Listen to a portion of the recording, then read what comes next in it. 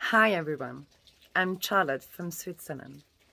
I'm very happy to present you today a Swiss product, an organic anti-age serum from Swiss Toniq.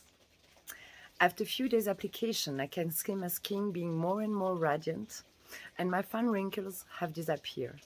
I strongly recommend this product, even more, because it has only raw ingredients and no chemicals.